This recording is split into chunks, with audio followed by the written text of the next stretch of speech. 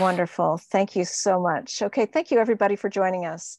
Uh, thank you especially to all of our candidates who are with us today. So thank you. This is going to be an exciting event. This candidates forum has been organized by DA France, Germany, Spain, and UK. I'm Danny Follett, chair of DA France, and I'll be moderating the first half of today's event. Second half is going to be moderated by Kenton Barnes, uh, chair of DA Germany. Kathy Toulos, who's chair of DA Spain, will be our timekeeper, and Brett McHargue, who's chair of DA UK, is going to be moderating the, moderating the queue. And another piece of housekeeping before we start, I'd like to ask people, please do not use emojis as we go through the session uh, because it creates a problem for um, the uh, uh, uh on online. It, it creates a problem. Uh, so we need to avoid using emojis. Um, today, so we're going to meet our candidates for International Secretary, Treasurer, and Counsel. Now, all of the candidates were invited, but not all answered, and not all were able to make it. And so um, we will have a second candidate session this Saturday, this Friday, where we'll be hearing from candidates for chair and vice chair.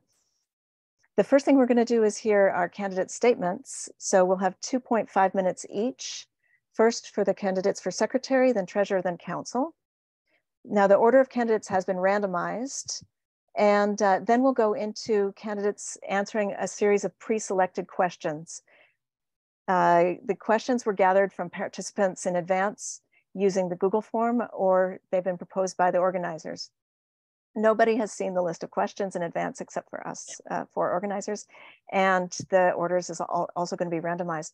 The answers again will be two and a half minutes each for the answers for the questions. Okay, and then we'll go into the second half of our event and we'll have an open question period. Questions will be answered by all the candidates for each position. So unless your question is personally oriented to a you know, a particular person, that is, for example, what did you mean when you said X? That is possible. You can orient a question to a particular candidate, but if it's not a particularly you know, personalized question, then it will be answered by all of the question, all of the candidates for that position. So to ask, ask a question during that time, please write hand up in the chat, star star hand up in the chat, and tell us which position it's for. And then we'll just go in the order of questions received in the chat. Uh, and as always, keep your questions extremely brief. We'll keep, we'll cut you off if necessary. And also, if you have questions, don't put your hand up in the chat until we get to that period. So for the first half of the of the session, let's uh, uh, you know keep the chat clear. And then when we come to that time, you can put your hand up in the chat for questions. Okay, so now I when through the 2.5 minutes for each candidate for your statements, uh, when you come to 10 seconds before the end of your statement, Kathy is going to wave at you like this. Is that okay? So Kathy, like that. So, so Kathy right there, she's waving. So keep your eye on Kathy. She's our timekeeper and she's gonna be very strict. So 10 seconds, you'll get a wave. And then at two and a half minutes exactly, she's gonna cut you off. Okay. Alrighty, so. Do, do you mind if I just throw in that that waving might not work for everybody? Uh, if they have vision ah. problems. So uh, uh, yes. maybe you want to just also um, take the opportunity to, I don't know, say 10 seconds or something like that out loud. Would that be best for every for for if the waving might not be an appropriate thing for everybody? Is that true? So yes, okay, all right, then we will uh, also, Kathy, you should also say something. Okay, so so make that clear verbally as well. Thank you very much, Marnie. Okay, so let's jump in and we will go into, uh, without further ado, we'll go into our candidate statements. So we'll start with our candidates for uh, secretary. Uh, now, is Susan McKenzie here? Has Susan arrived? Let's see. I don't believe that I've seen her name in the participants list. She's not in the participant list. Okay, so okay, so Susan McKenzie's candidate for secretary is not here. So we will go then to uh, Karen Frankenstein. Karen, I uh, will give you two and a half minutes. Please go ahead. You're on uh, mute. Karen, Karen, we don't hear you. Well, that would help. Thank you so much. Um, I'm an Arizona voter. I live in Munich, Germany. And I'm a foreign service kid, so I've really been a Democrat abroad pretty much forever. Uh, our family has always been Democrats. Um, so not being a Democrat was simply not an option for us. Um, I moved to Germany in 2006 for work. Um, I'm actually a trained opera singer. And while I was at my first job, I met my husband, and we currently now live in Munich. So I started out volunteering for DA after Trump was elected. Uh, with the global IT team. I really, really loved it. So I put up my hand and I started volunteering for other extra related work, like the IT liaison for the global volunteer coordinator. And it kind of snowballed from there. So I'm currently the global caucus coordinator. I'm lead for the global events team, and I run point for the help desk for all of the global teams. I've seen how building well supported and diverse, imaginative teams is really crucial to getting out the Democratic vote. And I believe that we can do it in numbers that we have not yet seen. I can help our teams really get there. I think DA needs to be a place of joy and excitement and fun for all of the extraordinary volunteers who make things happen. So that's you guys. And to allow this to be the organization that we envision, we need to minimize the bureaucratic red tape so that we can maximize the results of our volunteers. I have worked with nearly all of the organizational tools that we use at DA, and the secretary role actually manages quite a lot of these. Our success not only depends on these platforms, but on understanding the synergies of these programs and the teams that use them. We have to recognize that these tools are what can make or break our plans. And we need a great team with great plans. So please vote for me. Um, I have the tools to hit the ground running. And that's why I'm running for secretary. Thank you. Great. Thank you so much. And thank you for keeping on time. Wonderful. So now we'll turn to our candidate for uh, treasurer, Josh Vanderplug. Please, Josh, you've got two and a half minutes. Hi, everyone. My name is Josh Vanderplug, and I would like to thank the NEC for authorizing this event uh, and DA France, Germany, Spain, and UK for hosting us today. I vote in Florida, where my parents now live, although I'm a Michigan native and I call Michigan home. I've lived in London for almost 13 years and have been a, a member of Democrats Abroad essentially all of that time. By day, I work as a lawyer for a major multilateral development bank, a job that allows me to combine my skill set in law and finance with my passion for pursuing social and economic justice around the world. As international treasurer, I will work with country committees, global caucuses, committees, and task forces to formulate a comprehensive two-year budgeting strategy to take us all the way through the next election cycle, including planning both fundraising and foreseeable expenditures. On the fundraising and revenue side, we should establish a schedule for periodic fundraising drives throughout the cycle including asking leaders across the organization to host fundraising activities to support, bo to support both the global and country committee budgets. On the expenditure side, we should establish a rainy day fund to ensure that if we ever find ourselves facing financial difficulties, we will always maintain an adequate reserve to be able to handle any unforeseen costs. Finally, I would also support the creation of a standing global fundraising committee and a global finance committee.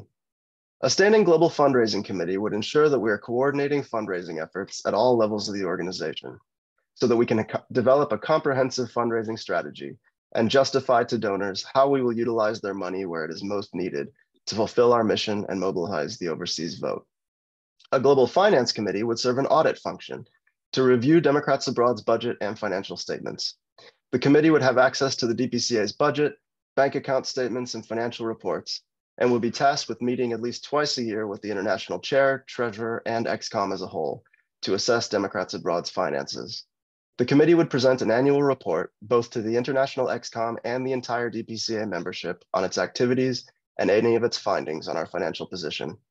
As the Finance Committee would be a new function in Democrats Abroad's governance structure, I am proposing to adopt this on a temporary two-year basis at first, following which the DPCA can assess its performance and decide whether to make it a standing committee as well. I look forward to discussing these ideas and answering any questions seconds. you may have. Thank you very much. Great, thank you so much, Josh. Uh, and thank you for keeping it to time. Now let's go to our, uh, our candidates for counsel. And I've randomized the order of the statements. So we'll start with Anne Brady. Anne, please go ahead. Two and a half minutes. Thank you, Danny. Um, I am running because I believe that there's a need for a dramatic culture shift in the Office of the International Counsel.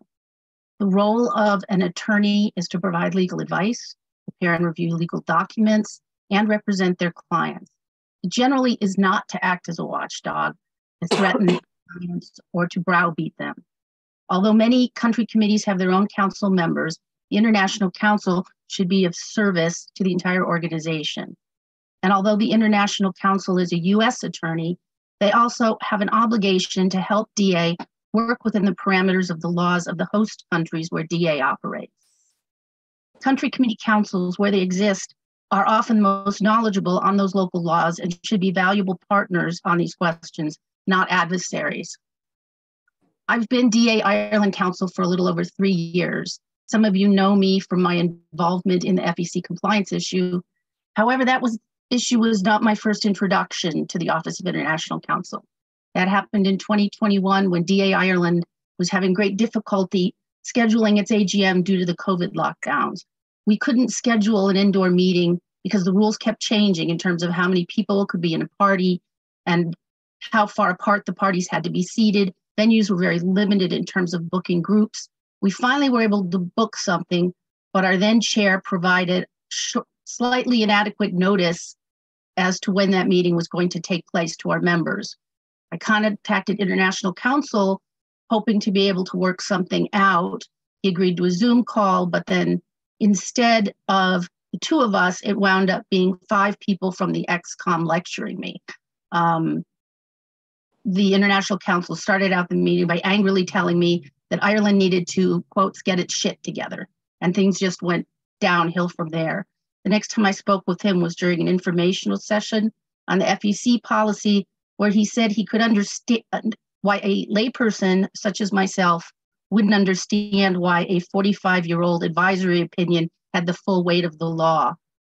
At a recent international ExCom meeting, I was horrified hear International Counsel berate a vice chair who merely sought clarification on a procedure, telling her that she didn't understand English again, this is why I'm running because I want to ensure Time. that there is a dramatic time. Great, thank you so much, Anne. Moving on, we'll now go to Summer Tillman. Summer, please, you've got two and a half minutes. Okay, um, please bear with me. I'm actually um, in isolation due to COVID. So I am here seeking your support and your vote for International Counsel um, on a macro level because I believe in democracy and the strength of our collective voice. Um, we are at a very crucial moment in history where voting um, is just not enough anymore. And after four years of our democracy being system- systematically dismantled and undermined, I watched as half of the country voted against democracy. So, what we've been doing as a party and as a country just simply is not enough. It's not working. We need everyone. Um, we need to use all of the tools that are available to us, which include social media, which includes um, mobilizing the young, which includes mobilizing quiet Democrats, and so on. I am currently head of legal of a prominent European tech company that does business in over 180 countries. So I do this legal work every day. I possess a deep understanding of international law, which means that I can guide Democrats abroad through the legal intricacies that we are currently facing. I'm also in charge of data privacy and therefore GDPR, which is key to this position. And I hope that I get to get to tell you more about my legal qualifications, but I am I can assure you that this is not just about that. Um, I've proposed that the International Counsel's office can be a place that can be outward facing and that can serve um, not just Democrats abroad in terms of the organization, but Democrats who are abroad um, which would drive membership to the organization if the Democrats abroad had a place that was um, if, if the Democrat, if the International Counsel's office was a place that was publicized as a as an outward facing office and a place that could help. Um, and the last thing I want to say is that I am definitely an outsider, and that's part of the reason why I am running for this office um, because this campaign is not just about you. It's not just about me. It's not just about the members. The members are only 200,000 of millions of Democrats abroad. Um, sorry, that's my own Um, and because of that, I believe that we are in a we we have a sacred job, which is to pick the best person for the job, um, and pick the best. Insist on democracy at every level, which includes um, includes this one. So that's my statement. Great, thank you so much, Summer. Wonderful. And finally, we'll come now to our final uh, candidate for counsel, which, uh, who is Heather Stone. Please go ahead, Heather, two and a half minutes.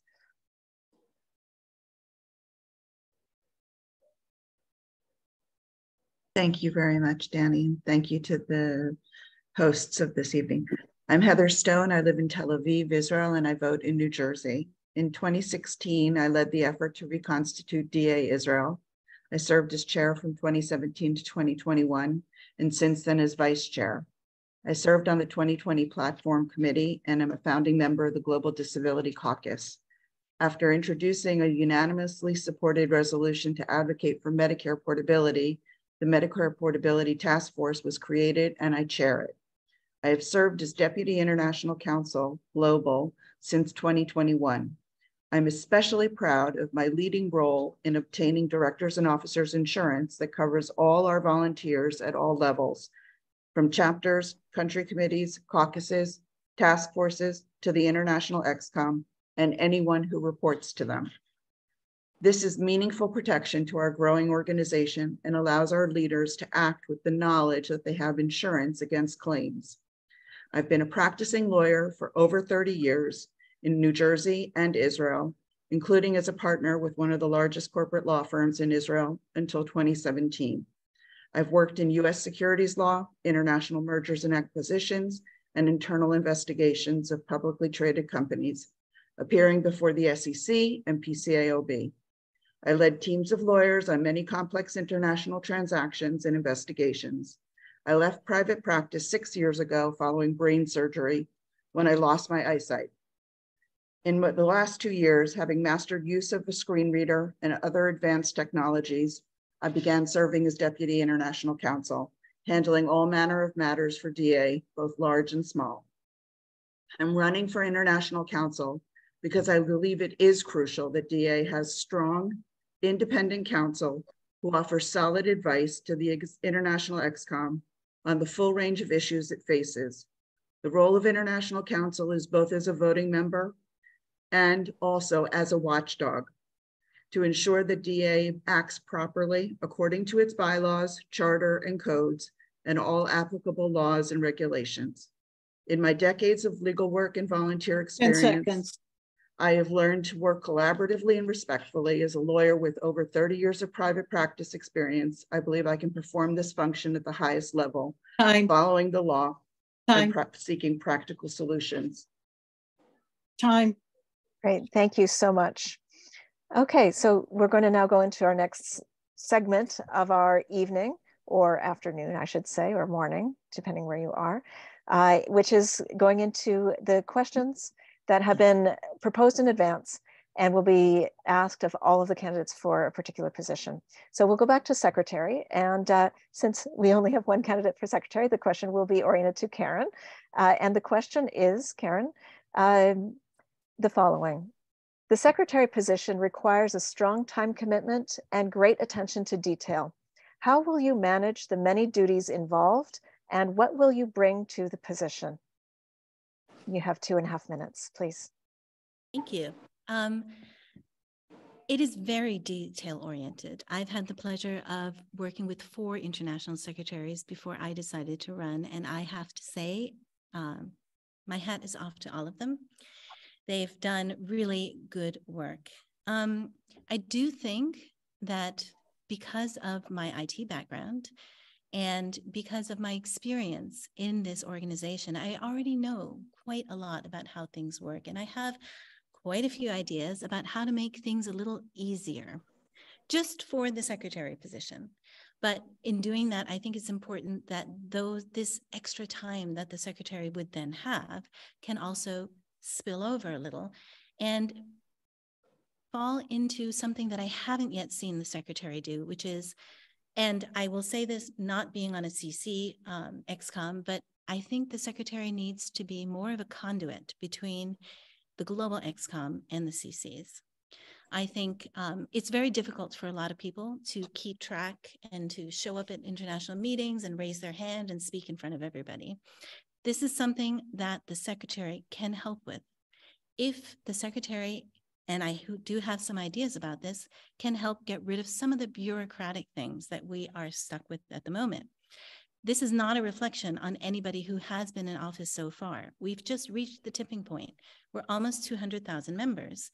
And we grew from a very small organization very, very fast. And we're going to get a lot more people next year.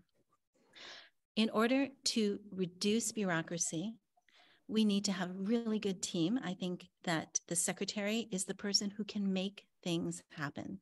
I'm currently doing a lot of coordinating. That's essentially what the, the secretary should be doing. They should have their finger on the pulse of the organization. The secretary needs to know what are people thinking? What, what would people like to do? And the secretary should be the one to go to the ExCom and say, hey, these people want to do these things. Can we build this into our plan and make their lives easier?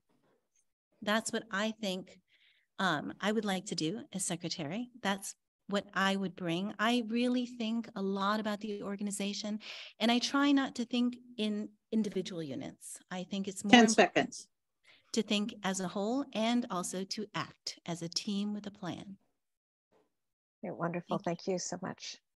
Thank you, Karen. Uh, okay, now a question for our candidate for treasurer. Uh, the following. So Josh, the organization has previously had difficulty finding a suitably qualified international treasurer. What makes you qualified for the role and how would you build up capacity in the organization so that you have adequate support and a potential successor when the time comes? Well, I would maybe take uh, issue with the premise of the question. I think we've had some some qualified treasurers in the past, but but I hope to be to be among them.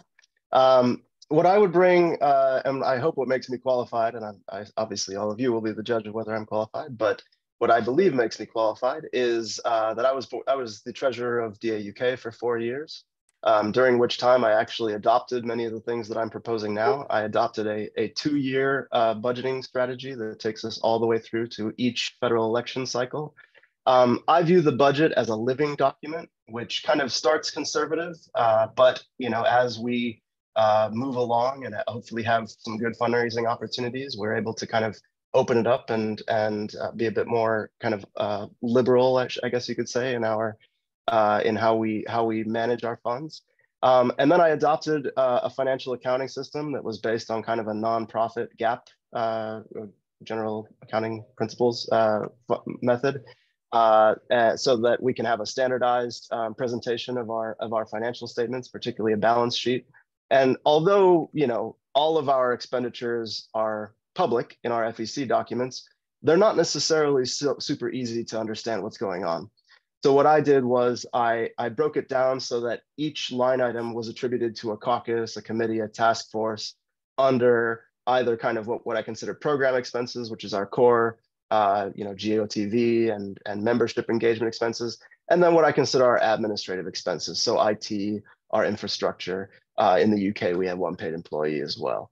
Um, so, so breaking down so that even though they are, you know, very uh, detailed financial statements, hopefully they will make sense even to a layperson. And then the third thing I did was that every time we had what in the UK we call the council, which is kind of like the DPCA voting body, uh, I presented a treasurer's report. And I tried to break down the detailed financial statements and the budget into a, an easy to comprehend and understand spreadsheet um, not not spreadsheet. I mean PowerPoint presentation, so that so that uh, every element of of our incomings and outgoings uh, was presented to to our membership in a way that that hopefully would seconds. make sense to people uh, and that people could could ask quest detailed questions about. That I will bring to the to the international treasurer's role as well. I didn't have to get time to get into this, but I also want to have deputy treasurers. Okay, great. Thank you so much, Josh. Um, all right, now we'll go on to a series of questions for our, uh, or a question for our different candidates for counsel. Uh, and the order of answers has been randomized again. The first person answering this will be Summer, and then Anne, and then Heather, okay? And so now the question is, uh, now DA's code of conduct is out of date. Will you review and revise it? How do you see the counsel's role in ensuring that DA is free from harassment and other breaches of the code of conduct? Please go ahead, Summer. You have two and a half minutes. Um, I would say that I would like to clarify what my view of the International Counsel's role as. And I think one thing I haven't heard anyone talk about is um, sort of an impartial guide. Um, I am I am as much of an outsider as, as as possible, I would say. And what that means is I'm really not in bed with anybody in terms of um, like the only the only desired outcome is the best outcome. So um, that that's uh, sort of um, my stand on where um, where well, two things I want to say. Number one, I have COVID brain. I'm still testing positive for COVID. Two, if you see me eating, I'm, I'm, I'm it's cough drops. Um, but could you repeat the question again, please? Of course, yes. I'm so sorry that you have COVID brain. That's not an easy thing to deal with. So, yeah, much sympathy. The question is so it's about the code of conduct. DA has a code of conduct and it is out of date. So, will you review and revise it? Yes. Yes. And how would you see your role as keeping us free of from harassment and other breaches of the code of conduct?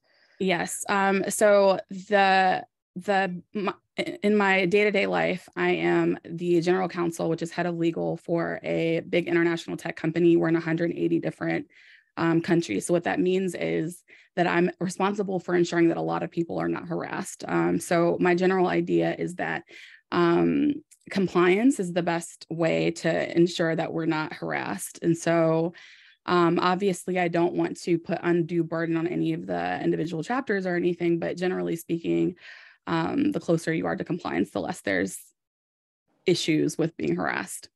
So thank you very much for repeating that question. Great. No, my pleasure. Thank you. thank you. Okay, next uh, up is Anne, Anne Brady. So you have two and a half minutes on this question. Thanks, Danny. Um, yes, obviously, I think the code of conduct should be reviewed and revised, but I, I wouldn't want to, um, even if it were possible to do that in isolation. We need as much input from all the countries, from all the country committees, from all the leadership in terms of what they would like to see and what's appropriate. Um, and then I would like to add that more important and keeping it reviewed and revised is enforcing the provisions that we already have in place.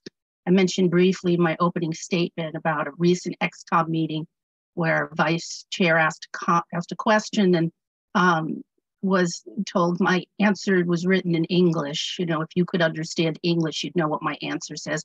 People are spoken to with real contempt at some of these meetings and nothing is done about it. Just keeps going on um, I think we have maybe a slightly outdated code, but nevertheless we have one, and it's not being properly enforced. And I think um, I would hope that whoever the new chair is, that that person is going to enforce that code of conduct in in meetings and in all dealings. We need to treat each other with respect, not just not fail to harass each other, but be respectful of each other. And um, and that applies to meetings as well as to conversations, um, just in general. That's all I have. Great, thank you so much, Heather, um, Anne, sorry. Uh, next, we'll hear from Heather. So Heather, please, you have two and a half minutes. Thank you, thank you, Danny. So the short answer is yes, I would review the um, code of conduct and uh, would try to revise that. Uh, it's something that uh, is sorely needing uh, a, a, review. Um, it's something that uh, the Council of Council already started to take a look at uh, in the past, and I would hope that uh, we would be able to continue that process. And I would like to engage with the um, counsels in the country committees in order to get their feedback. Um, it's something that, uh, if elected, I would like to engage generally with uh, counsels, with the counsels and the country committees in order to have some sort of iterative process in uh, in hearing their their feedback about uh, policies that we want to um, update and revise and, uh, and to engage with them in that process. Um, in terms of uh, keeping us free from harassment, I think that's an element of our code of conduct that has not been well developed. It has, it's a section of our code of conduct so that is uh, sorely lacking. I'm voting for. It's, uh, and uh, I think someone's speaking over me. Um, uh, and uh, and so that's an element of our code of conduct that needs to be worked on and further developed. And of course, there are certain standards uh, for international organizations that uh, should be referred to and, uh, and adapted um, for the specifics of DA. Um, and uh, I look forward to working on that. Okay, great. Thanks so much, Heather. Okay, so now we'll do another round for uh, questions coming back to Secretary. Uh, so this question will then be for Karen. Okay, so Karen, uh, although this is a decision for the whole ExComm, how do you think we should manage our internal communications to make sure that all leaders and DPCA members are receiving the necessary information? What would you do to help facilitate this? Please, you have two and a half minutes. Well, I think that we have a certain number of platforms that are already used for emails. And what I've heard from people is that they're getting too many emails. And when they get emails, um, they don't read them because there are too many of them. And we have an internal communications platform called Mobilize. Um, I hope that everybody on this call is also on it. And but Mobilize, I feel very strongly, isn't being used in the way that it was meant to be used. Mobilize isn't meant to be used for conversations, nor should it be used for top-down just announcements, because that isn't really the purpose of internal communication. We need to hear what everybody else has to say. But I feel that the way Mobilize has technically been set up needs to be improved. You can set up Mobilize so that you don't get a message every time somebody puts something on there. Uh, you can set it up so that you only get a daily digest. And that should really be the default for our internal communications. We all, some people don't have a daily job, but some people do. And even if you don't have a job that you're at nine to five, you do not need to open up your phone and see 126 mobilized messages. We also, I feel strongly, um, don't need to use platforms that are going to make you create new email addresses you should have an email address that you use only for DA. Uh, those of you who've been on my IT trainings have heard this before. Use one email for your DA stuff. And that should be the one that you use for Mobilize. And if you're in a Google group, use that one too. But the point is, all of these groups can be set up so that you don't get 16 messages a day. You only get one. And I think that that should be set up and it should be implemented.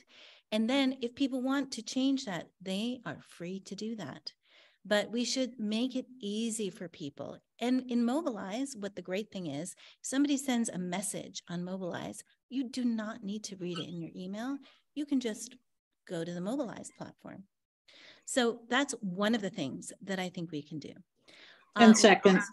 We also need to look at other platforms, but that's the one that everybody's complaining about. So that is what I've chosen to discuss. Okay, great. Thanks so much, Karen.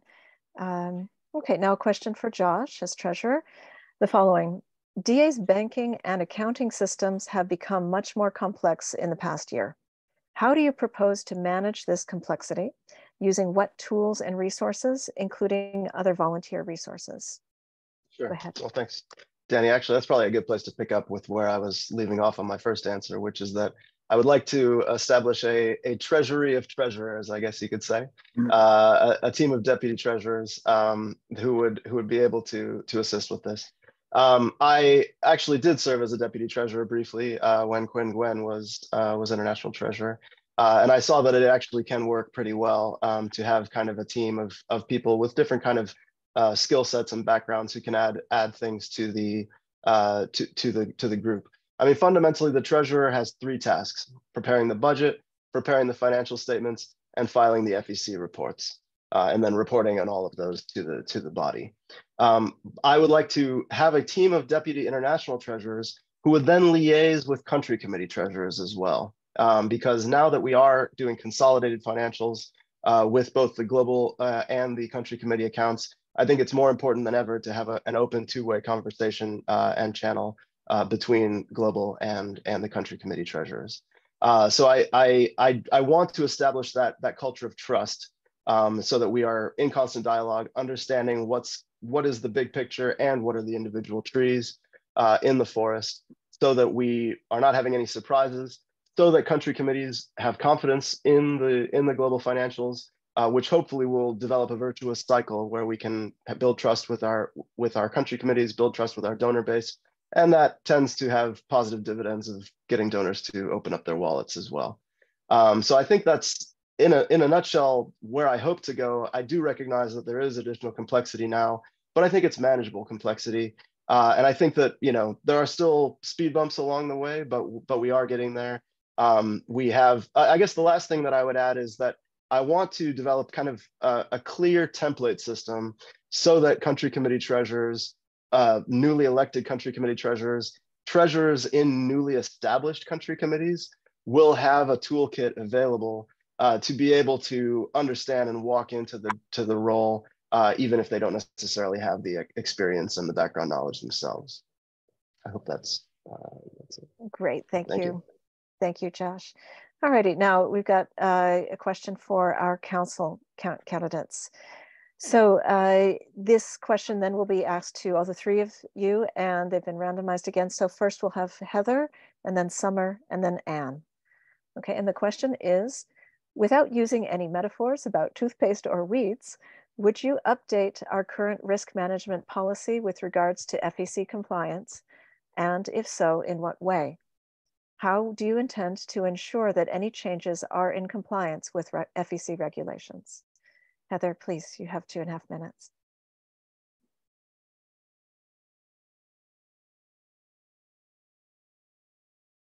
Okay, thank you for this question. Um, I don't uh, believe that uh, we need to update uh, our risk management uh, policy regarding the FEC compliance.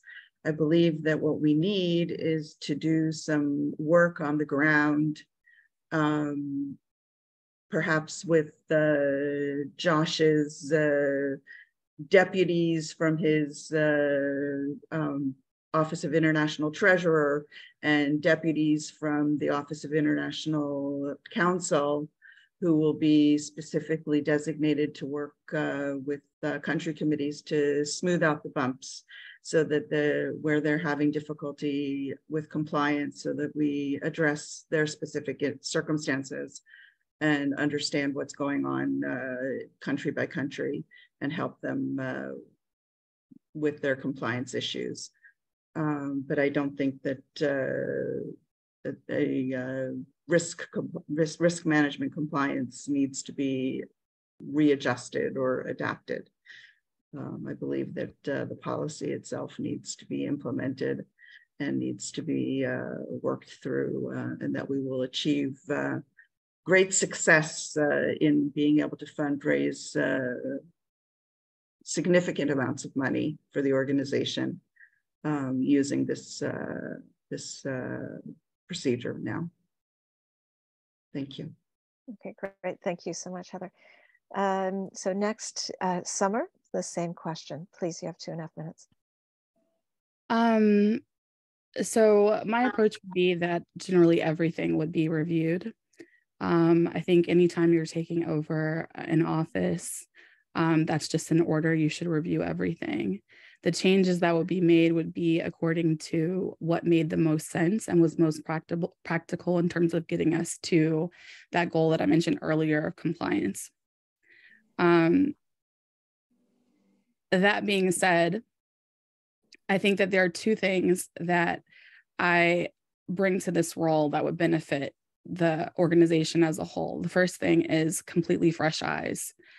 Um, I'm guilty of it. If I have written a contract, I do not I'm, I'm i'm married to it and so i'm very sensitive about what's taken out what's added um, because it's my work it's my baby as Erykah Badu says i'm sensitive about my stuff Um, but when you are from outside, if it's a contract that someone else has written, if it's something that someone else has done, then you can look at it from the vantage point of like what makes the most sense and what is the best here. So that's number one. I bring to the table fresh eyes. Um, with that being my general attitude towards it, I also am aware that the people who are working with this uh, with these problems every day have lots and lots of information about them and also have ideas on how to solve them. And so I think it would have to be, as we're reviewing um, everything, which I think is in order, um, it would have to be a collaborative um, work between um, the executive committee and also the country committees in terms of figuring out like just what the best solution is to all of these problems that we're faced with. Great, thank you so much, Summer. Okay, and now we turn to Anne, the same question, go ahead.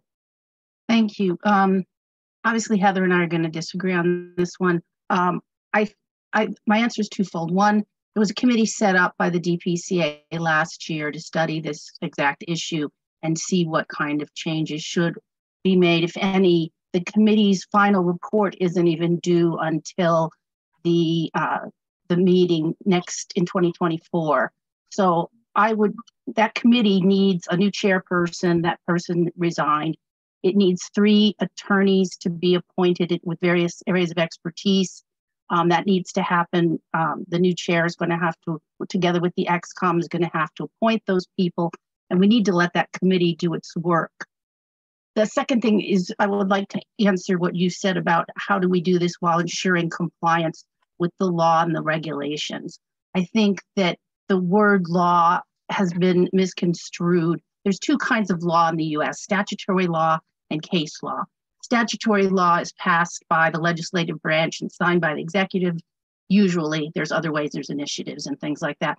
Case law is law that comes from the courts. Here, we're talking about regulations. The FEC has regulations that they've adopted that are designed to interpret the law that applies to them.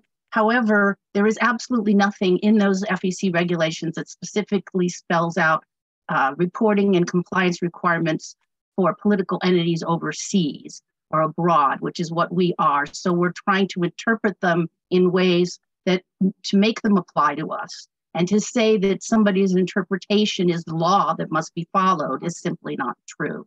So that would be my starting point on that. Great.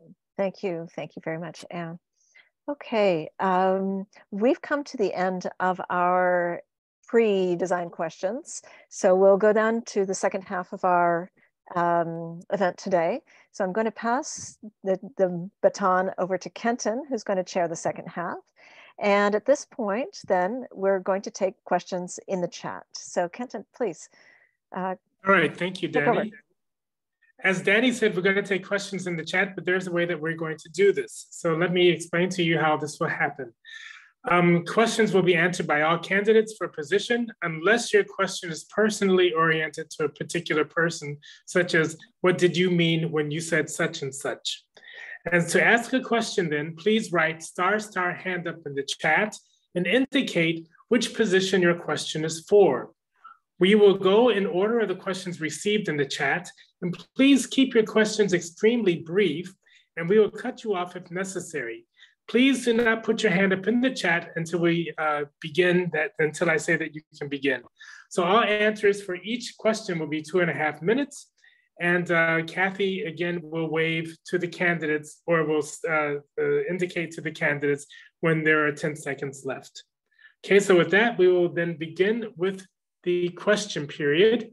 And I cannot see the chat at the moment. Let me just skip there. So um, the cue is Bob Valier. Moi, c'est moi. Bonsoir. Hello, I'm turning on my camera. Oh, there we are. Hi. So this is a question not related to anything that's been asked so far. Uh, and it's not necessarily specific to your positions. It's about the organization itself and the stance it should take and actions it should take with regard to political activities in the United States. As you know, because you read the news every day, everywhere LGBT, especially T, rights are under attack in states and territories wide and far. What kind of position, both rhetorical, by which I mean in terms of a statement, in terms of a policy position, in terms of a platform position, and what kind of action, concrete actions, should Democrats abroad take with regard to these kinds of um, attacks on our community, my community, our community. Our community is my community and mine is yours because we're all in this together. And in the middle of inclusion, there's us. Um, uh, what kinds of uh, rhetorical stance, what kind of activities should we undertake to redress these blatant attacks on human rights? Okay, Bob, uh, just to check, this question was indicated to anyone, is that correct? That is correct. Okay, is there anyone who would like to answer this question then?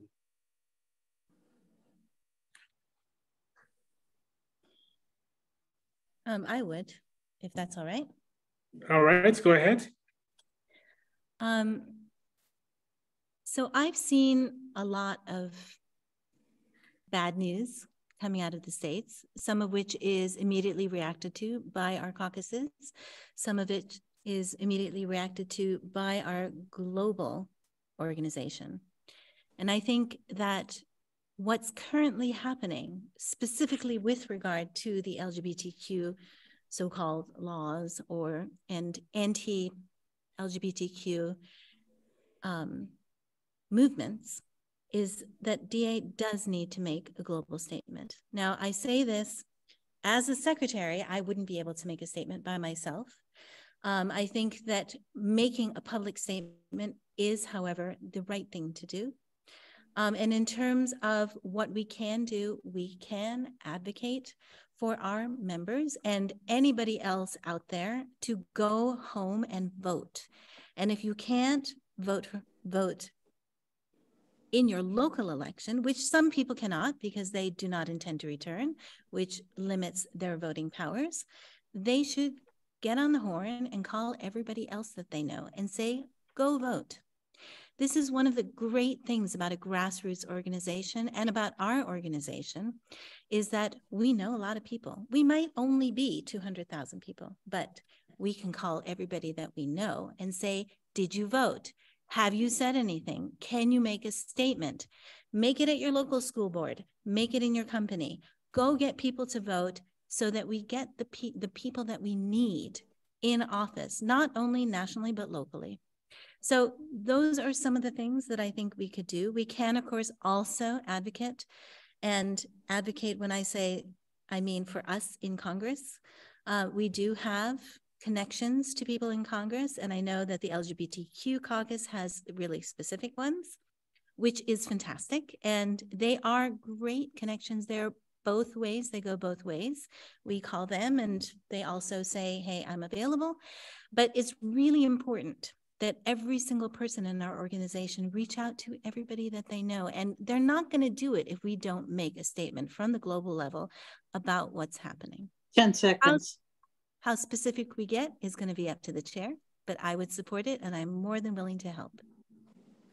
Thank you, Karen. Um, uh, would any other candidate like to address this question? Josh, yeah, go ahead. I would like to. Thank you, Kenton. Uh, and thanks, Bob, for asking. Um, you know, I, I agree with Karen. I think, uh, you know, we obviously have a comms policy that we don't comment on foreign policy or the domestic politics of other countries. But I think we are well within our rights to comment on the domestic politics of our own country. Uh, if anything, I think we've been maybe a little too strict on on you know limiting our our com statements only to issues specifically impacting Americans overseas.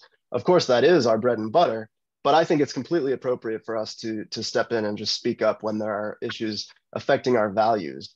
Um, I, I remember during the Trump years in particular, there were the Women's March, March for Our Lives, March for Science, all these uh, these activities which were just standing up and we had people in this many of this frankly was during covid even where we had people online holding up placards saying you know enough is enough and march for our lives and and this is things which impact our friends and family living back home thereby impacting us as expats living overseas as well uh, so by all means i would support us taking stances, putting out comms, pushing the Democratic Party itself. You mentioned our platform. Yes, we support the Democratic platform, but we also issue our own platform, which in which we can actually advocate for the issues that are most near and dear to ourselves, uh, and in some cases push the DNC beyond where it would otherwise go. So I think that is uh, by all means within our within our realm. Uh, and the last thing I would say for in terms of specific actions, we've had a um, and I think it's still ongoing, but maybe not quite as much as it used to be, uh, a, a, method of tiny actions uh, little steps that individual members can take to call their their uh, their reps and their senators back home. Um, this is exactly the type of thing that I think would would be well suited for a tiny action uh, of someone to write a postcard, make a phone call, uh, and make their voice heard on on issues that that matter to them and to their friends and family. All right, um, thank you, Josh. Um, Summer, you like to go next? I would, please. I would like to say that um, while I recognize that we are in the Biden years, it doesn't particularly feel like the Trump years are over to me. And they feel like, you know, they could reemerge um, in a substantial way at, at, any time. We got really close um, to another four years. Um, I think that one of the problems that we can address is the leadership in the the in, in Democrats abroad, which I, I really do believe that what we like what we choose to do in terms of um, who is represented in our leadership, who we are choosing to give a platform, who are we who are we supporting um, makes a difference in terms of uh, how how visible different issues are. Um, I know that uh, LGBTQ uh, people, pretty much anyone who is not um, white, heterosexual, male, um, has been under attack in the last few years. Um, and the representation in terms of the party overall has not really changed very much. But I think that we have an opportunity here to really take a critical look at who we are choosing to lead these conversations. Um, so I think one of the best ways to ensure that um, these issues are dealt with is making sure that we are including the people that are affected. So rather than, you know, taking a than only taking a stance on a particular issue, what I would like to see is I would like for us to really actually engage on every single level people from different demographics. Thank you very much. Heather or Anne, would you like to speak to this? Yeah, I would I would like to also speak. May I? Go ahead, yes. Okay, so I, I would like to echo what uh, Josh was saying. I, I think that uh, we do have to speak up to our values um, at all times uh, and to make those uh, statements as part of uh, a uh, resounding uh, resounding statement for what we believe in. And uh, we do need to come forward with a strong statement in our platform and push the democratic party forward um, and I think that is one of the places where we can be most effective um, because we do have uh, an eye on the world and we see things differently. So um, I would uh, I would strongly encourage uh, the ExCom to be vocal and supportive um, in communicating our values whenever there are um, attacks on the civil rights of the LGBTQ community in the United States, um, and uh, and also to make sure that we reflect it uh, in our in our platform in a way that will also push the Democratic Party uh, to be as strong as possible. Thank you, Heather. Anne, would you like to comment as well? Yeah, I would just like to say that um, I agree with Heather on everything she just said on that issue.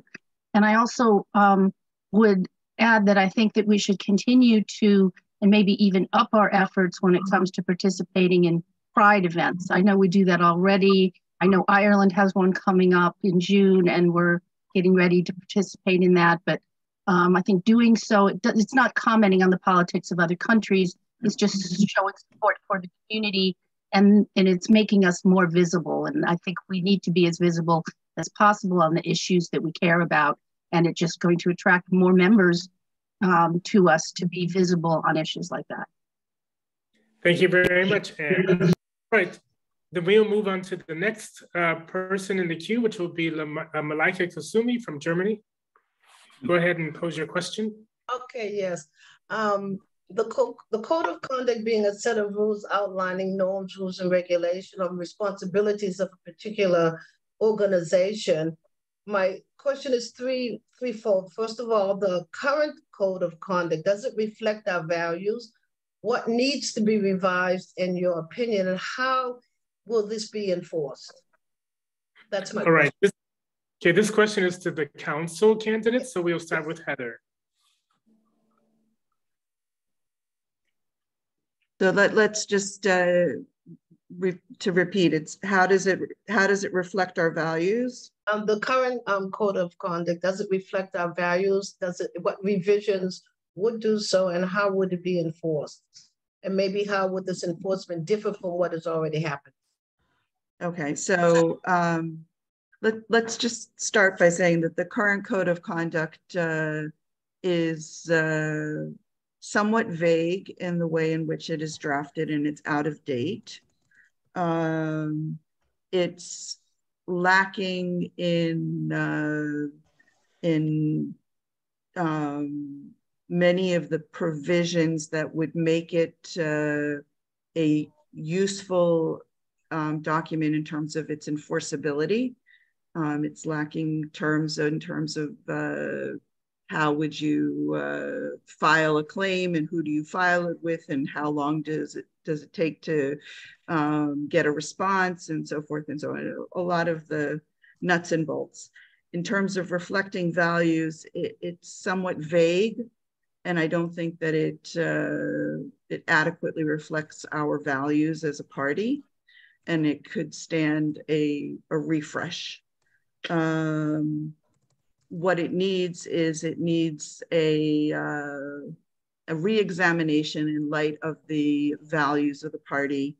Um, it needs to take a look at uh, who we are, um, some outreach to uh, um, members of uh, of our communities uh, from the different caucuses, uh, younger voters, uh, um, Black voters, people with the disabilities, we need to make sure that the code of conduct is addressing all of uh, the situations that uh, that could possibly arise in uh, in those uh, in situations where people could perhaps be um, mistreated or harassed and it needs to be better reflected uh, in that way. And then it does need to have the nuts and bolts of how to make a claim and who processes it and how you can uh, be assured that you get uh, satisfactory results. Thank you, Heather. Um, next up was Anne. All right, um, I don't disagree with that. I think we need um, we need a more specific enforcement mechanism. We need more specifics in terms of the process. But I also, I'll just reiterate what I said before. I think that we're not enforcing the code of conduct we even have. And that's got to be the starting point. All right, thank you. And then Summer. Um, I would say that generally a code of conduct should be a living document, um, especially in our current times. Um, for instance, a change in the code of conduct that I just had to made, make involved doxing, which did not exist uh, for the previous version of the code of conduct. And if you don't know what doxing is, it's uh, releasing the pub- the private details of a uh, pri- uh, otherwise private person on the internet. Um, so there are things that are happening every day that weren't happening five years ago, two years ago, six months ago. And so, because of that, you always want a living, breathing code of conduct. And so, as I mentioned before, I think one of the things that's imperative, just in terms of when you're starting, um, when you're starting a new era, which I really hope that this is going to be, um, is to review everything. And just generally speaking, you should kind of have an ongoing review of the code of conduct. And in terms of whether a, co- a code of conduct should reflect values, I think that that's a difficult that's a difficult thing to do. I think generally speaking, if you want I always, when I'm explaining, um, when I'm explaining, like I'm talking about contracts a lot because this is making me think of it. But when I, when I'm explaining to the business people at work, um, what makes a good contract a, a good contract, a lot of people think that um, oh, you have to have a lot of teeth and it needs to be like, in order for it to be a good contract, it has to make sure that we'll win in court. And it's like, no, the best contract is one where you never end up in court because everyone knows what they need to do, everyone is capable of doing it. Um, and there really is that intention to fulfill their end of the deal. And I think that that's true of a code of conduct as well. You need a code of conduct that is not necessarily just reflective of the values of the organization, but is something that everyone can understand, everyone can do. And then you have less of a, a need to enforce it, if that makes sense. So you need a document that is reflective um, of the problems that you're facing. It's reflective, reflective of the people that it's serving. All right, thank you very much, Summer. Um, from here on out, we will um, limit the responses to two minutes because the queue is getting longer and the, uh, uh, the questions, uh, uh the responses to the answers are um, uh, somewhat involved and detailed and lengthy, which is what they should be. But in order to give the uh, maximum number of people an opportunity to ask a question, we will therefore limit the um, responses to two minutes. All right, so next in the queue, we have Beth and her question will be directed to all of the candidates. Beth, are you there? Yes. Hi, Kenton. Can you hear me? Yes.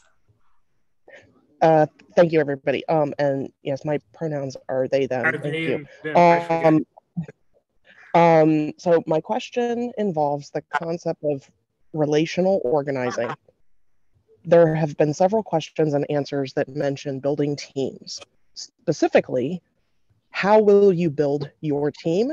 How do you motivate them or assist others to motivate theirs? And importantly, specifically, how do you appreciate your team and peers and say thank you? All right, thank you. Then we will begin with uh, with Summer this time. Um, so I want to talk about just like a briefly an experience that I had. Um, so I feel the the theme of outsiders coming up a lot for me. And I think that part of the reason why I put myself forth is because I've had the experience kind of just generally as I've navigated life of um, having an administrative team that was not reflective of me whatsoever. So, what that meant was that when I had a problem, which is inevitable whenever you have a situation where um, you are a part of an organization where the leadership is not necessarily reflective of the entirety of the group, um, where there was tension when I would want to go and talk about a problem that I had as a Black woman, because there are things that come up that only affect Black women, or there are things that are affecting me specifically because I am a Black woman or because I'm a young person or so on and so on and so, so forth. You can enter whatever um, specific thing that makes you different from that administrative body. And there just really is not a substitute for having people um, on the team that are reflective of the constituents. It's just a necessary thing. You cannot substitute it. And so one of my primary one of my primary goals would be to create a team that was um, reflective of all of us. And so that means that we have a better chance at solving the problems that face all of us. And so that would be my number one priority. Um, and so I can I can answer more specifically, but that's generally. And seconds. All right, thank you, Summer. We will now move yeah. on to Karen. Oh. Karen, are you there? I think she's frozen. Okay, then we will come back to Karen and go down uh, to Josh. Yeah, thank you very much for the question, Beth. Um, I think, uh, you know, I'll echo a bit of what Summer just said. I hope to build a team of people whose skills complement mine. Um, so particularly for the treasurer role, I think that it does require a bit of experience, and I'm going to use the word experience in quotes because I think that experience can itself be uh, a diverse concept. Um, so by by that I mean people who come from having been in a treasurer role themselves from a country committee level, people who work in high finance, either for a big four auditing firm or you know in some type of financial capacity. Um, I think all of this is relevant experience for for bringing to the the job of working in at a, at a DPCA at a at a political uh, treasury role. Um, so I I think that there are areas where you know I have my own skill set, but I hope to to find people uh, to build a team who who have different skills than I do. Um, you know, in terms of I guess motivating them, I think it's two things. One is building trust. Um, sometimes we can kind of get each other down in this organization, and I think that that kind of demotivates. Uh, I hope that if we can actually just build a collaborative, trusting environment where we all kind of get along, that will have a virtuous cycle, like I was saying, where we then want to spend more time with each other and want to and actually enjoy this work. Um, and then the other element of motivating is giving people ownership for for their own their own work product.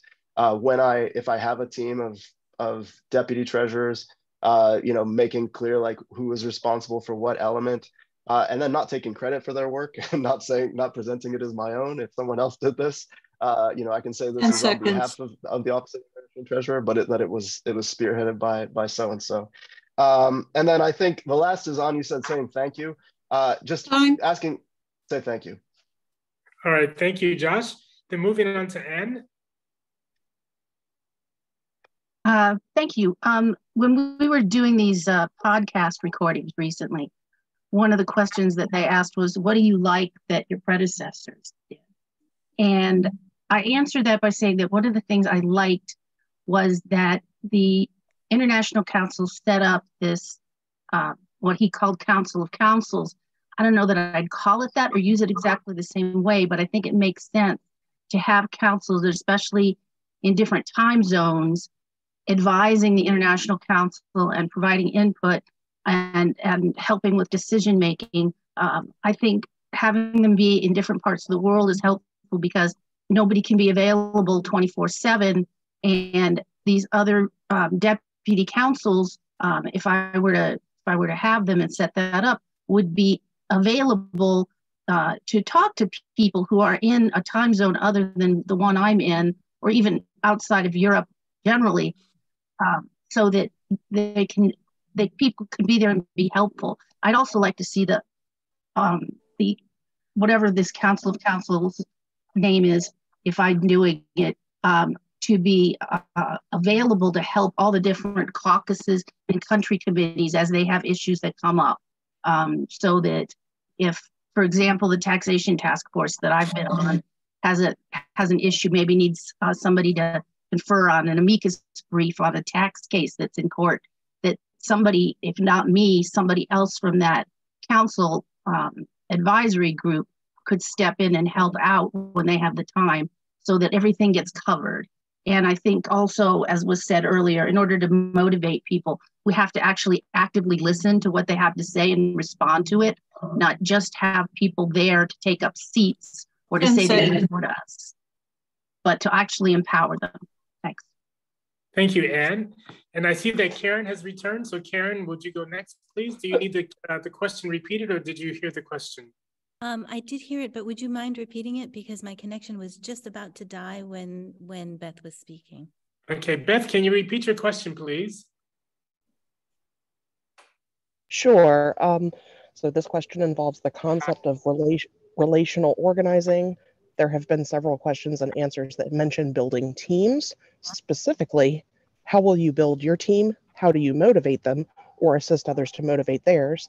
And importantly, specifically, how do you appreciate your team and peers and say thank you? That is a great question. And I think it's really relevant uh, for us in DA right now.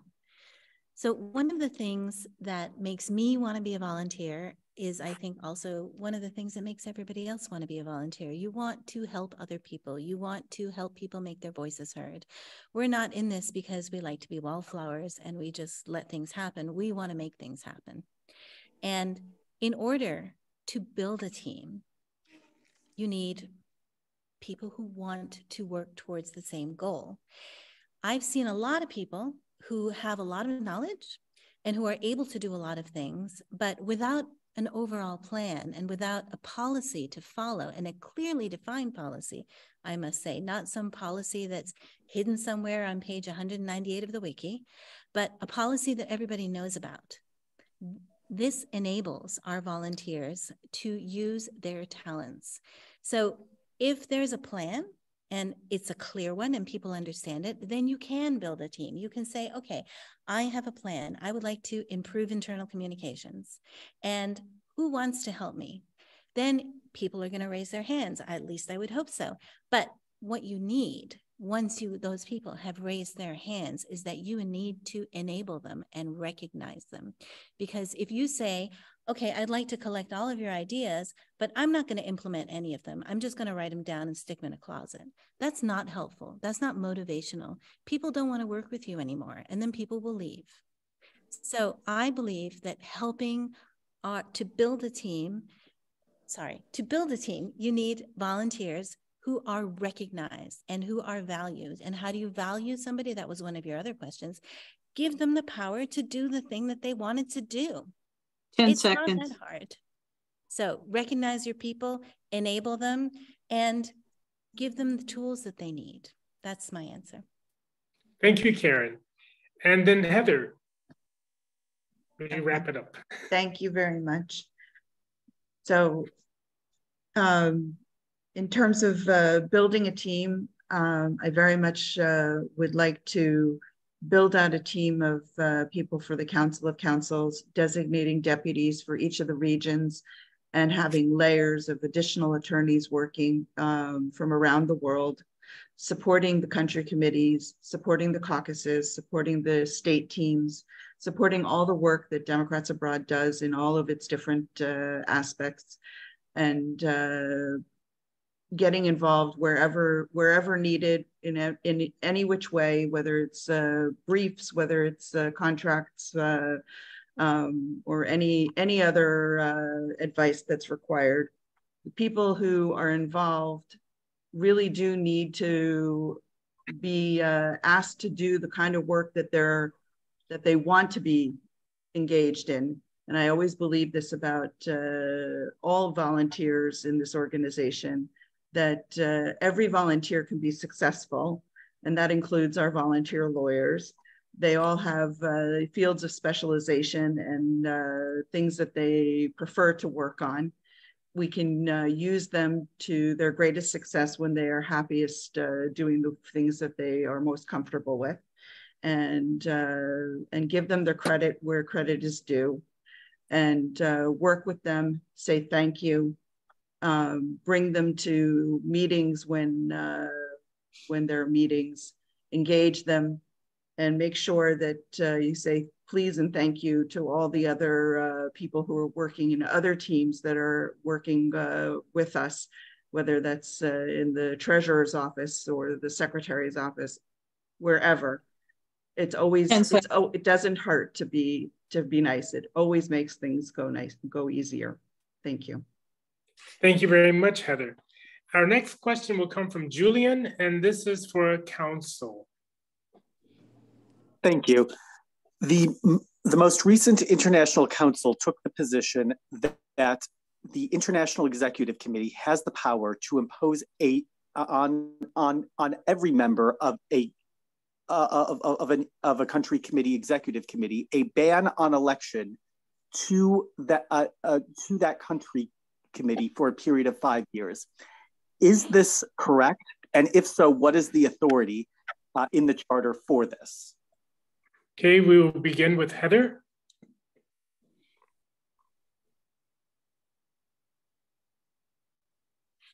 I'm not aware of the I'm not aware of it, and I'm not aware of the uh, the basis for the for the provision under the charter. So I, I can't say that uh, I agree or disagree. Um, I would have to review the charter in order to make a determination, but it's not uh, not something that uh, I can say off the top of my head. All right, thank you. And next okay. will be Summer. Um, I also uh, don't know. I would say in terms of what my my general disposition would be. Um, I I definitely think that I'm interested in making um, Democrats abroad more democratic, um, and part of the International Counsel's ro- role is interpreting the charter and figuring out, you know, how how to solve those questions. I think um, realistically, if we are, we are told by the founders, any government that doesn't doesn't serve us, we you know have a duty to replace and change. So I would be interested in figuring out what things are working for us and keeping those things and making those things better and figuring out what things aren't working for us um, collectively and changing those things to things that do serve us, but not serve just us, because really ultimately the goal here, and I think that we haven't talked a lot about it, but the goal here is to get more Democrats in office. It is to save our democracy. Like it sounds very dramatic, but that is our goal. Um, I joined after not knowing anything about Democrats abroad, which really is a shame because I've lived in several different countries. But I think that that's indicative of a lot of people in my position. Millennials right now are the largest demographic in the workforce. Um, so there's a lot of people that we are just not reaching that we could be reaching. And part of that, I really do believe, is making an organization that's just more functional, that reaches more people, that utilizes more of our tools, that utilizes social media, that serves Democrats. 10 seconds. So. All right. Thank you, Summer. And Anne, your response. Thank you, Julian, for this question. Um, I do know what he's talking about. There was um, letters that went out from the Office of International Counsel to four countries, and one of those letters uh, said that it would be recommended to the International ExComm that all of the members of the country committee ExComm not be allowed to run for office for five years. And when that issue came up, I did examine the charter uh, and there is no basis in our charter for doing that. Um, there are provisions for suspending individual individual members, and there's hearings that are to be called for if that's to if that's proposed, if that's um, to be done. But there's no um, there's no basis in the charter for suspending people from running for office for five years. Thank you very much, Anne. So we will go to the next person in the queue, and that will be Rich. And this question is also directed to the counsel. Rich, are you there?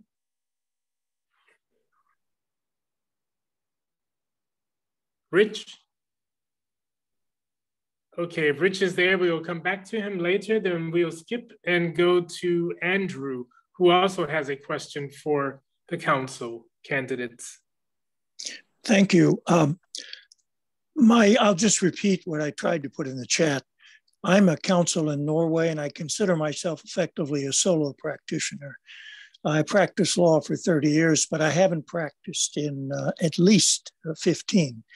Um, and the one thing that should scare any lawyer is uh, not being competent. And the usual way lawyers gain competency, to be very frank, is they pick up the phone and then they get into the books. And now I guess it should go online. I was very excited uh, by the idea of the Council of council and I will echo what Anne said about that being one of the things uh, that I would uh, give points to the entire uh, predecessor group for doing. And I anxiously await uh, seeing that fleshed out even more. So, my question to all three of you is apart from recognizing all of your qualifications, excuse me, I see the Council of Councils effectively um, being a mid-sized law firm. And some of you have already fleshed it out in your answers, but I'd be grateful if you could just direct yourselves to what experience you have uh, in managing such a group of lawyers, because managing lawyers is a skill set of its own. All right, thank you thank very you. much. Uh, Summer, would you like to begin, please? Um, sure. So, um, as I mentioned, I'm head of legal right now, and so I manage um, the internal legal team. I also manage a ton of external uh, lawyers. That is um, that is probably I, would say the majority of of uh, my job.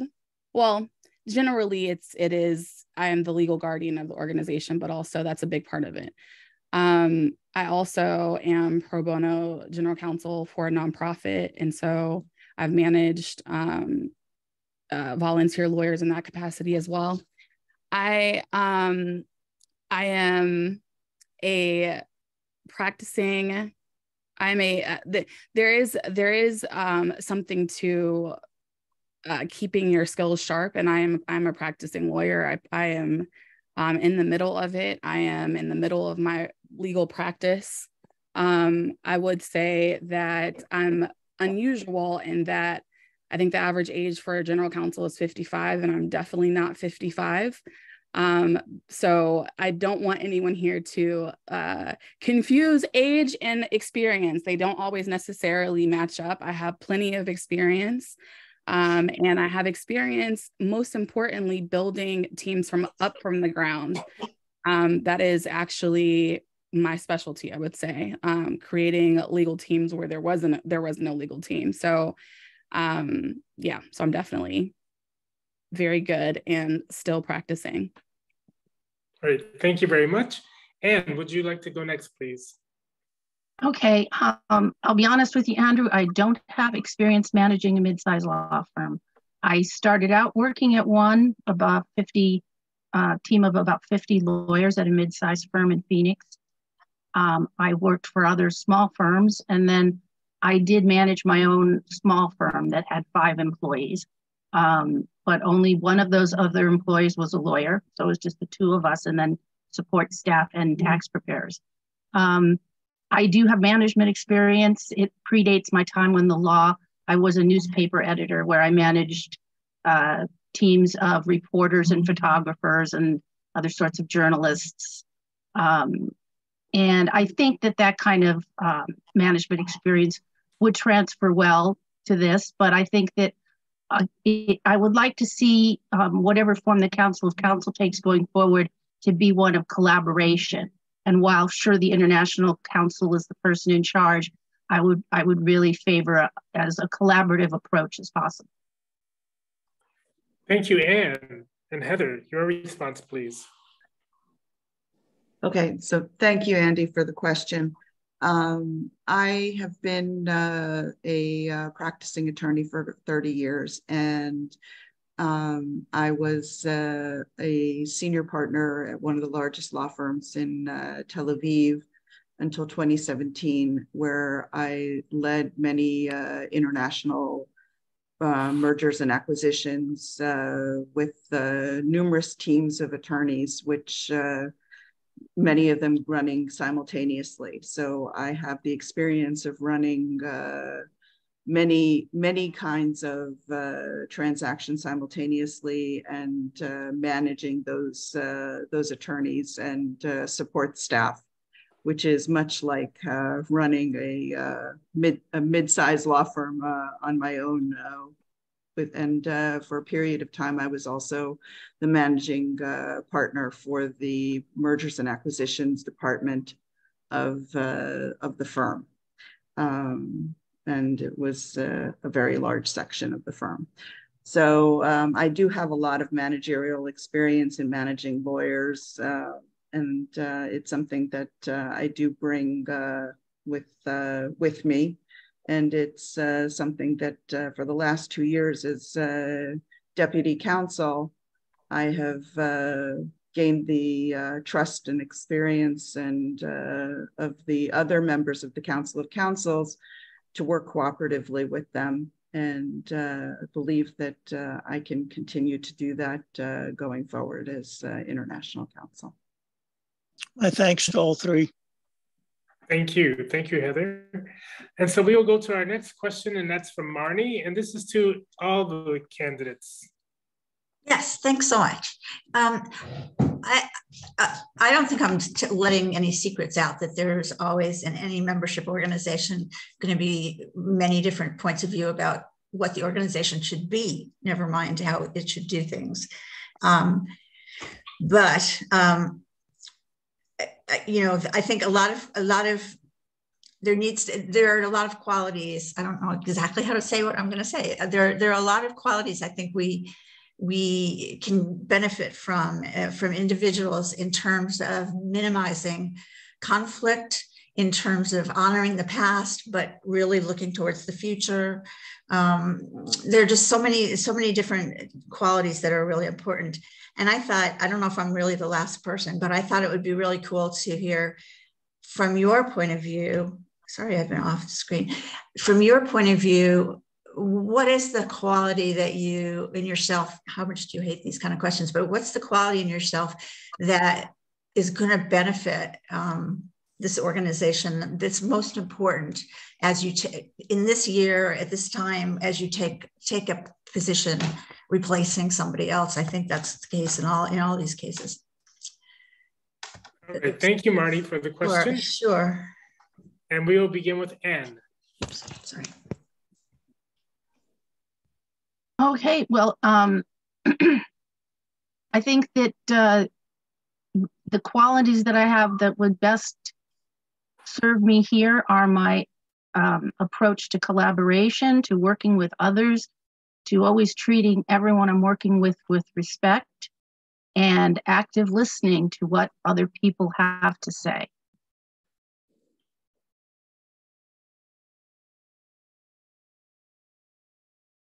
All right, thank you. I just had to turn on some lights here because it's getting a little bit dark. So then we'll move on to Karen. Thank you so much. Um, that's a really good question. And I want to say, um, before I answer your question, Marnie, that Marnie's Disability Caucus hosted the first webinar that totally transfixed me from all of the caucuses, including mine, which is the AAPI caucus. Um, one of the great things that I have been able to do by working with the caucuses is to see other people's point of view. And, you know, when I was 14, I remember having a conversation with my dad, and I said, This is what I think, and this has got to be right. And he said, You don't know anything. And then I turned 18 and I said, Wow, you know what? I don't know anything. And as I work with all the caucuses and I see these amazing events and these different points of view that they all put out the Disabilities Caucus, the Black Caucus, the Asian Caucus, the Hispanic Caucus, the Seniors Caucus, the Youth Caucus. I could go on and on. The Women's Caucus. I can't name them all, but um, everybody has a different point of view. And what I think sets me apart maybe not from everybody because I hope a lot of people think this, but what I know is that I don't know anything. There's some things that I know how to do, and I really love helping people. And that's one thing that I do know how to do really well. But what I also know is that I haven't walked in anybody else's shoes. I've only walked in mine. So when somebody comes to me and says, This is what I think, this is my viewpoint, this is my experience, I try my utmost always to accept it and to say, How can I help you make things better? So I have seen a lot of our leaders um, who have done great work um, be surprised by this. 10 and seconds. I want to say this I'm never not surprised when I discover I don't know something, but it's always a pleasure to be able to learn something new. Thank, Thank you. you, Karen. We'll move on to Heather.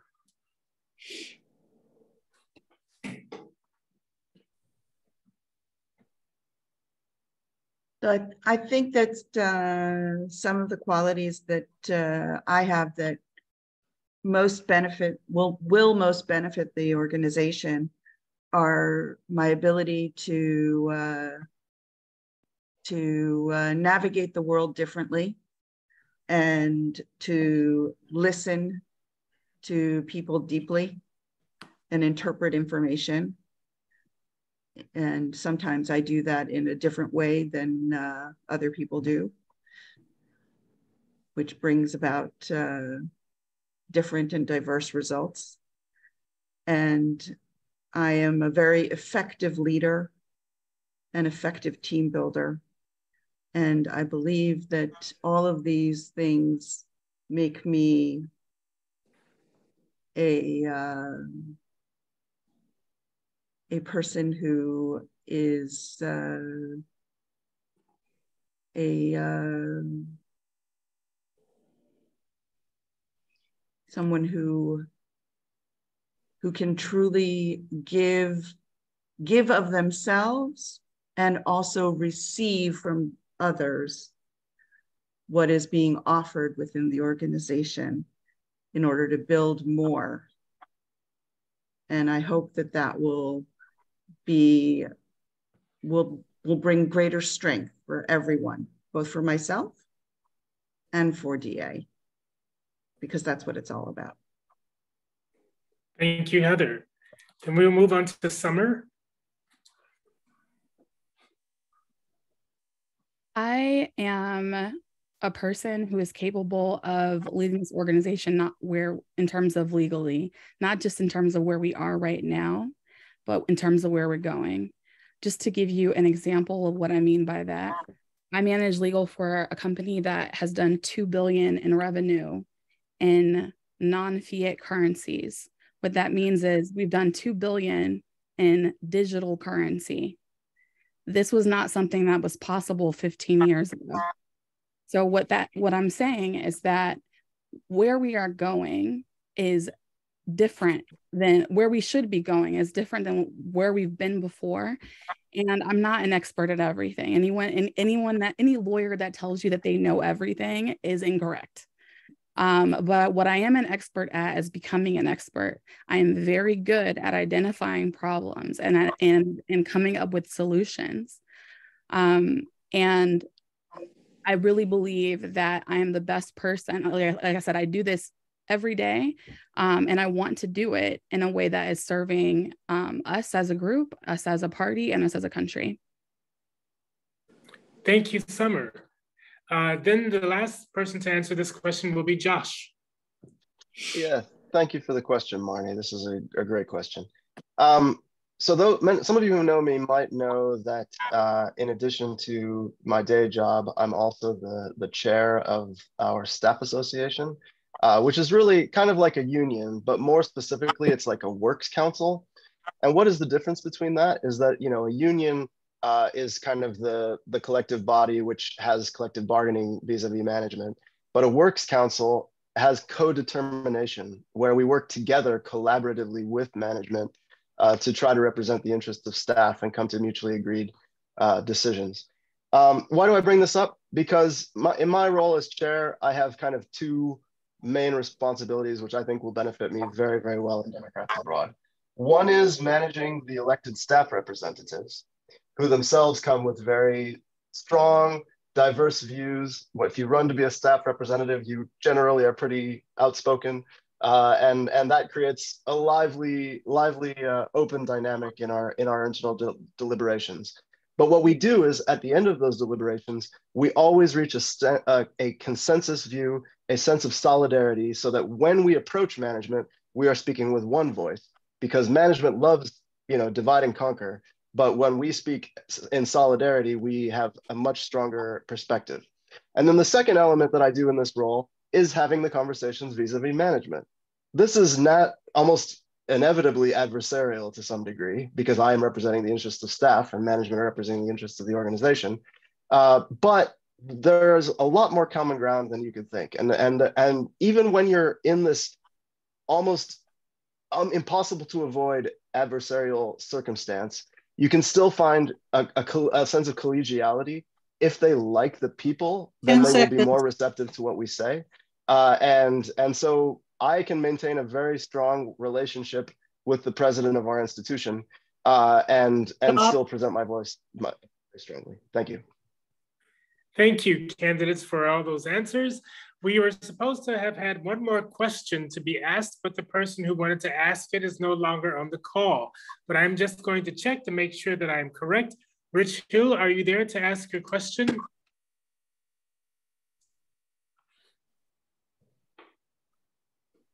Okay, apparently he has left.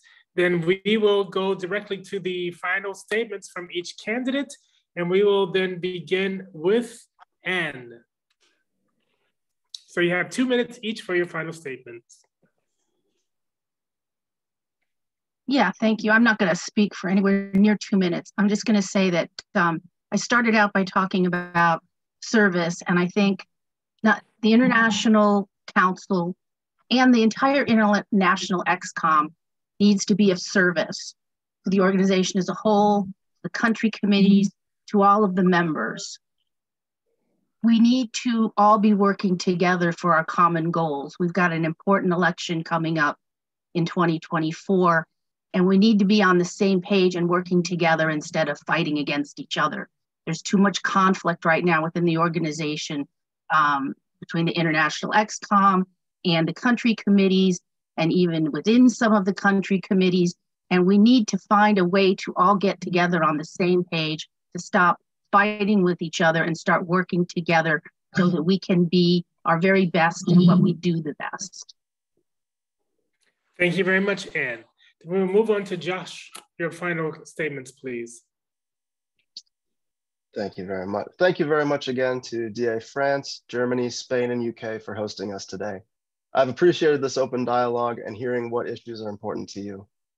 In each of the roles in which I have served across Democrats Abroad, I've sought to combine my passions with my skill set in law and finance, ultimately with the goals of improving the governance of the organization, making us more effective at our core mission of getting out the vote, and reflecting our own values by making us more small d democratic.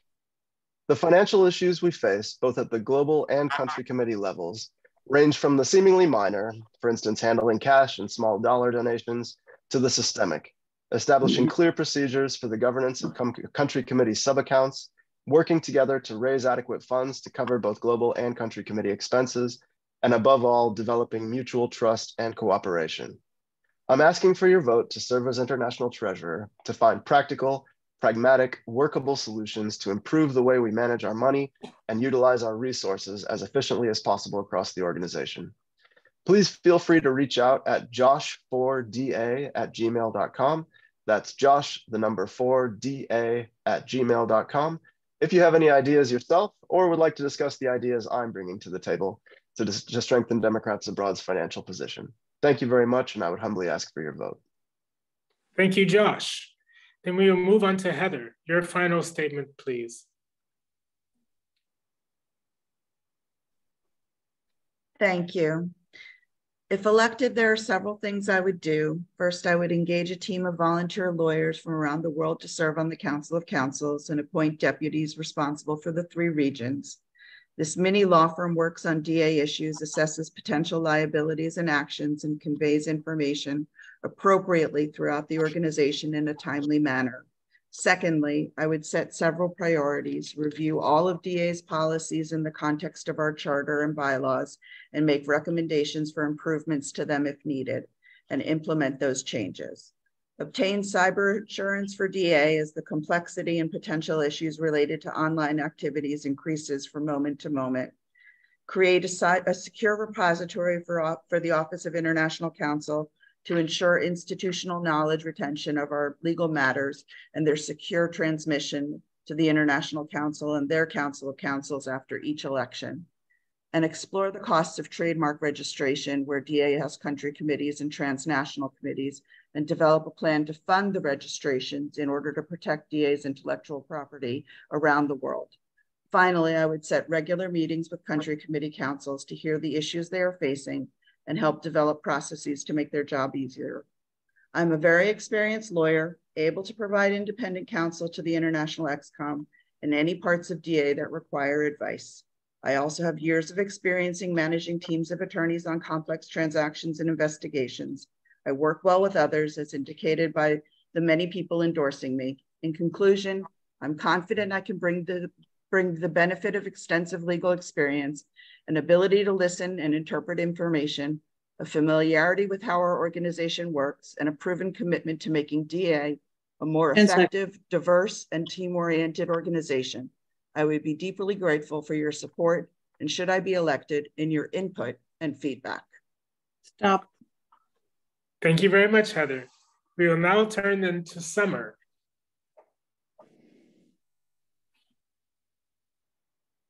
Um, I want to start by saying thank you for um, having me. I have um, been very, so, I've been very um, happy at the amount that I've learned about um, Democrats abroad and about all of you and about all of your all of your needs.